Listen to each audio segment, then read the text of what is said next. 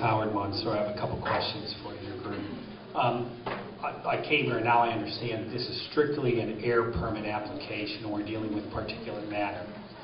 I'm assuming that you have a certain regulation that says there is only a certain amount of particulate matter that's allowed in the atmosphere, and you stated that if you see the matter, if it's visible, it's not allowed to be visible crossing the property line, okay?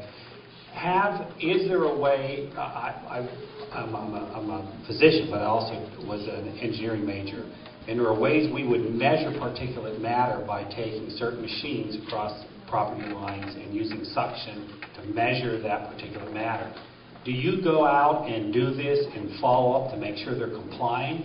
Or is it just uh, they submit their, their, what they say it's going to be and then it's just assumed to be true? Well, and I'll let someone else correct me if I'm wrong, but there was a property line level, and if there is a level at which a facility cannot exceed, so let's say that there's a level for particulate matter, we do have what's called a haz HAZDUST, which does uh, draw in air and will measure the amount of particulate. However, uh, we no longer have a, um, a, a property line level, and so I don't have anything that I can hold the facility to. That's when we fall back on the 111 rules, which is about visible emissions.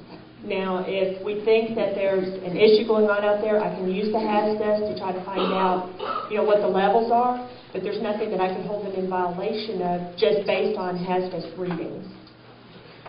So, so those, there are no levels of readings on that that is considered a violation. For instance, if we go out and we get one of these machines and measure the levels now, then when he's operating ourselves, get a machine and measure those levels and prove that they have exceeded a certain level, that, that's not The held. levels are gone. We don't have those You levels don't have, anymore. oh, okay, so they're no longer, so, so, so truly, you're giving an air permit for levels that don't exist. So all, all we have to do is see them, and that's, the- that's the You only talk thing we about the don't. conditions in the permit? Isn't there an opacity limit? There, there is opacity, there is opacity limits. Can you explain what that is? Uh, That's uh, made. Do you have opacity readers? Okay. Good job. That, that is the, the degree of grayness in the air caused by emissions.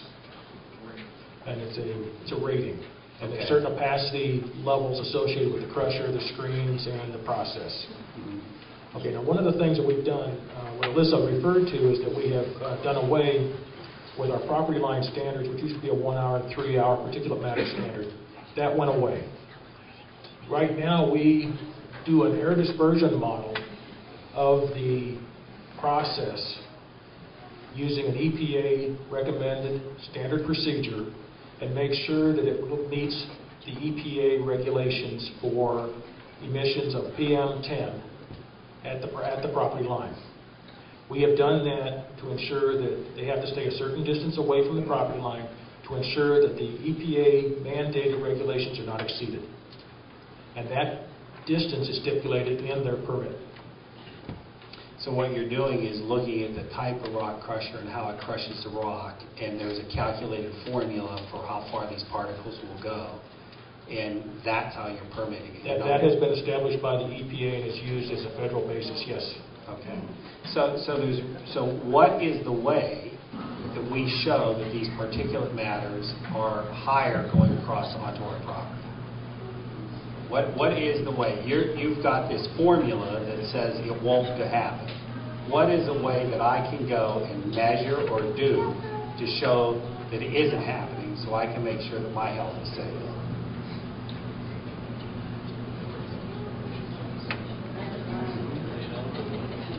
Right, we can monitor visible emissions using method nine, uh, which is an EPA method, to uh, determine the level of visible emissions that are coming off the property. So what is, Now, can you explain what Yeah. method nine is? It's, um, reading opacity is determining how much of the background is obscured when the Okay. particulate is going Okay. Okay. So is there a machine that does that? No, sir, it's our eyes. And, but it's not just somebody going out there and saying that, talk Is there about the trained Right. technician that? Yes, we do have to go through training. I do have a couple of investigators who are Method 9 trained. Now, any investigator can use Method 22. Method 22 is if you see visible emissions crossing the property line, then um, they, they don't have to have formal training. But, I mean, all my investigators go through training, they know what they're looking for, but they don't have to be Method 9 certified to determine that there may be uh, an exceedance of the visible emission level, and that's through Method 22. Uh, The other thing that we can look for is if you think that dust is impacting your property, is we take tape lifts. Now, the thing with tape lifts is we go out to your property, we will take some samples, we'll go to the company, take reference samples, and what we have to do is match those up. Now, if the, uh, the samples come back and it's uh, 90% common clays materials, that's what you're going to find on any dusty road that's out there. So it's not just a simple matter of finding material on the property, it's actually tracking it back to the company. And, and you have to do these tests, or can we hire an outside environmental company to do these tests? I mean, do you accept, do you accept any technician who's certified to submit this to you? As part of citizen collective evidence, yes, you can do that. You can do that? And, uh, But Can you provide information where, or how we can hire these people to go and monitor?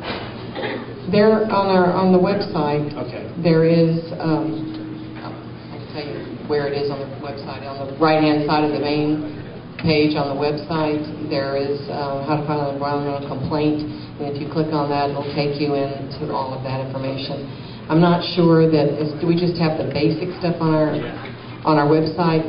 And are y'all still, do we still offer training to people or to groups? Um, When we first adopted those rules, we actually offered training to people on how to find, how to use citizen, or to collect citizens' collected evidence, so that you didn't waste your time submitting something to us that we can't use. But there wasn't a whole lot of, of um, interest in that, so I'm not sure we're doing it anymore. And we're getting feedback, and I don't think we can hear too good in the back, so bear with us. We will offer training to anyone who is interested, and we have gone out to communities before, and if you want to know what we need to see in photographs, we can show you. If you want to know how to take a tape load sample, we can show you. Perfect. Thank you very much. Way to go, Doc.